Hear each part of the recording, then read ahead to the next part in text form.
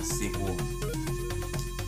I could see that happening according to our boy Beach Boy Kamikaze and the producer of Mortal Kombat, Todd Garner.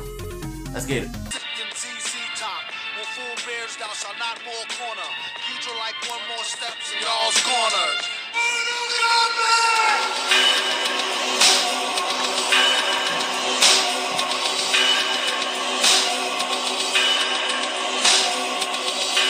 combatants. So, Todd Garner's back at it again, replying, and he's saying some good stuff that I think everyone needs to see. So do like, subscribe, want to see more content, I'm here. and hit the bell notification as well. So yes, Todd Garner uh, was replying on a Twitter post today, and he had this to say. So Butcher Billy says, cannot wait to see what they've got in store for us, and Kevin Quincy saying same here with him saying same.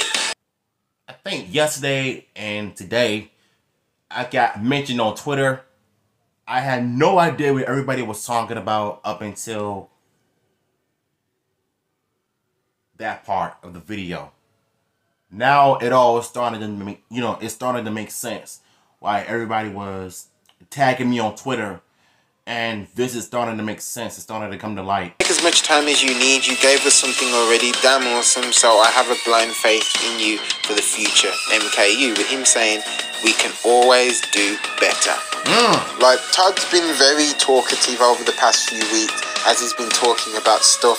He's come back and he started talking to us. He's done probably the movies and stuff he was working on. So now it seems like he's putting his focus on Mortal Kombat again. And it seems like he's promising us that they can always do better. And tell it, he's letting us know that he can do better. He's going to promise to make something better for us. Because he knows the faults that the other one had and the things that got people angry. And he wants to make sure that everyone can feel better in the product that he's going to create. And I cannot wait to see what the next product is and what's to come next. The fact that he's talking a lot more and being more expressive over the things and he's communicating with us on the stuff that we're talking about about the last film really shows that he really wants to make things better. So do let me know in the comment section what you think about this and is this good news? I'm just gonna be real here. If it wasn't for Todd, we wouldn't have this Mortal Kombat film. The much anticipated film for two years. The fact that it came out this year, 2021, I have fun with it. I had a good time watching it. You know, he's one of these people that if you want to talk about Mortal Kombat, if you ask him any questions, he'll reply to you within minutes. And you and I, well, you and him are gonna end up having a good conversation about some plans, uh, good ideas for the sequel, of adding tournaments, etc. I think to me, he is the to-go guy for information. If you ask him, he'll give it to you. Not many producers and directors, you know what I'm saying, that interact with their fans.